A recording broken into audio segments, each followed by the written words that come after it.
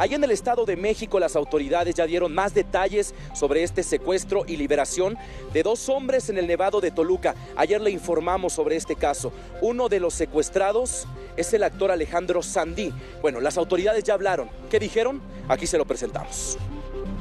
En esta camioneta veníamos tres personas, Alejandro Sandí, uno de nuestros mejores amigos, Esmeralda Ugalde y una servidora. Obviamente nosotros ya estamos haciendo eh, eh, lo correspondiente, la denuncia, las autoridades están haciendo su trabajo, por eso no podemos decirles mucho más información para no entorpecer este procedimiento.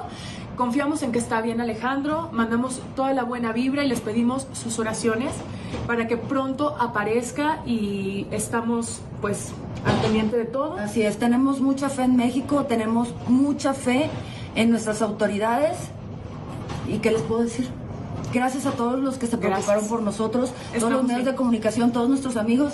Gracias a Dios estamos bien y vivas. Con este video a través de redes sociales fue como las actrices Esmeralda Ugalde y Vanessa Arias dieron a conocer el asalto y posterior secuestro de su amigo Alejandro Sandí en el Nevado de Toluca.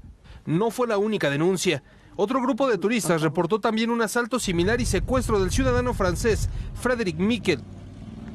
Fue cerca de las 3 de la tarde de este lunes cuando llegó la noticia.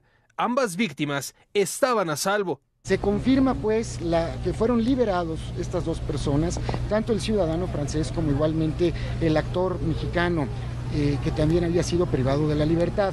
Según la Fiscalía Mexiquense, se trató de dos secuestros sucesivos. Los detiene un grupo armado, bajan a estas, eh, a, las actrices, ellas se quedan, eh, digamos, en el, en el suelo y después se roban el vehículo y privan de la libertad al actor.